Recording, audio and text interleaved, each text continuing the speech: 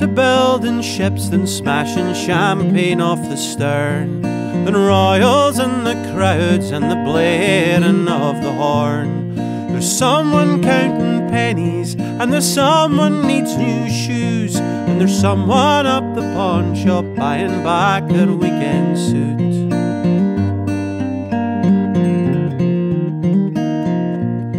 There's more to building ships than nostalgia, ache, and pride of watching Hulk slide down the dock and turn into the Clyde. There's ten guys in the hospital and four men in the ground, and everyone that worked there breathed that dust into their lungs, and everyone that worked there breathed that dust into their lungs. What they called the black trades was was the metal work, you know, the welders, the platers, the the sheet metal, well, the sheet metal workers, like the electricians, the joiners, uh, plumbers, and so on were finishing trades.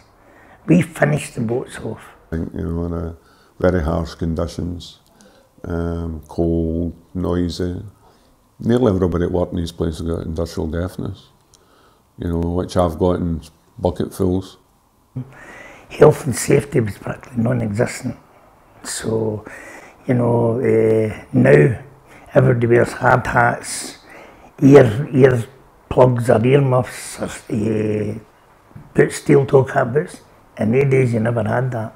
A burner screwed up unprotected eyes, burning a white hot line, sometimes near dab marks, as spitting metal played roulette with his sight.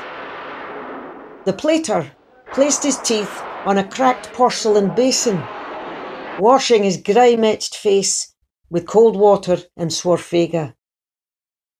The press, with the faulty pressure gauge, groaned and hissed its resistance as the eight-fingered operator ignited apprentice fear with his cackle. And they watched them sail away. In June 1970, the newly elected Conservative government set about removing state support for what they called lame duck industries. By withholding just £6 million, the historic shipbuilding industry on the banks of the Upper Clyde were set to lose 6,000 of its workers, devastating the industry. Joint shop stewards are utterly unanimous. We're going to fight, We're going to fight it with a determination that Britain hasn't seen from any section of the working class this century, let alone since 19. In a clever public relations display, shop stewards, including Jimmy Reid and Jimmy Airlie, and shipyard workers, took over the running of the four shipyards that made up the Upper Clyde shipbuilders. So began the UCS Work-in from June 1971 that forced the government to back down by autumn 1972.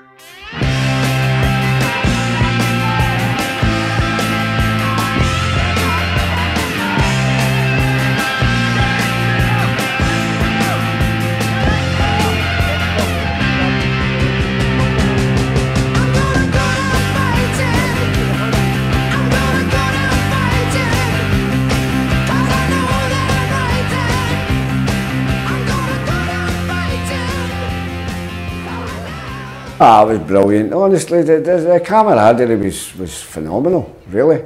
You know, that's the thing that really gets me, the, the amount of people that were so enthralled in keeping it going.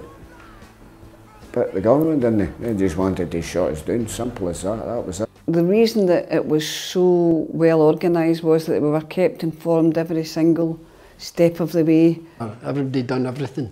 You know, there wasn't a specific, right, because you're a welder away in well, no, you can go away and fix cables or clean up or whatever. Everybody mucked in. Everybody. Not one complaint.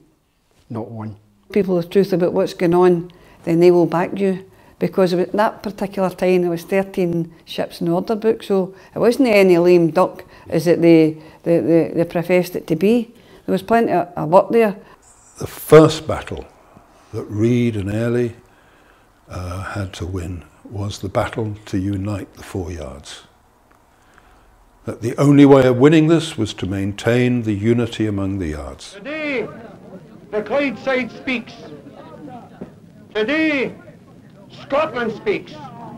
Not the Scotland of the lairds and their lackeys. They've never represented Scotland.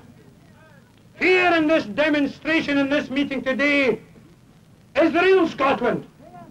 The Scotland of the working people. Showing that, that we were responsible people, right? We were not mug militants, right? We were not state wreckers. We were responsible workers who were protecting their communities.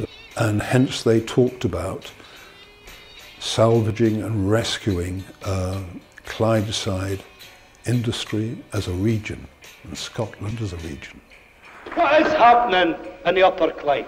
It's a group of workers that, as Jimmy Reid said, are demanding their inalienable democratic right, the right to work. A group of workers that are not going to grovel, tugging their forelocks onto the labour exchange. A group of workers that will no longer tolerate their children leaving the playgrounds to go into the Dole. That's what's historic and that's what's significant about the stand the workers in UCS has taken. The shipyard did not close down.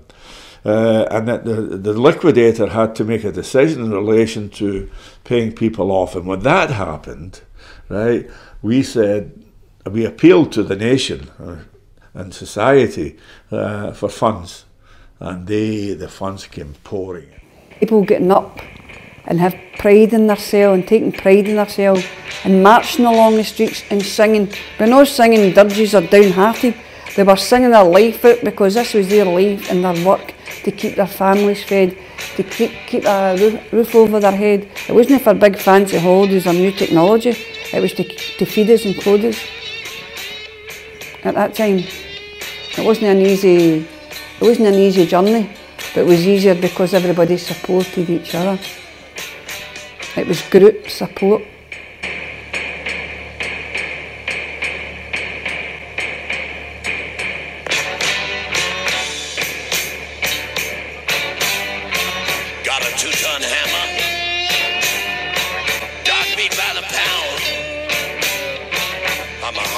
Driving man.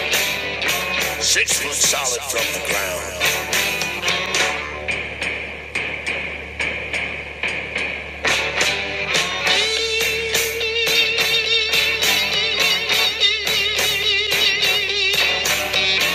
Work my hammer for always wanna fight. Swallow up some TV dinner. Swing my hammer strong.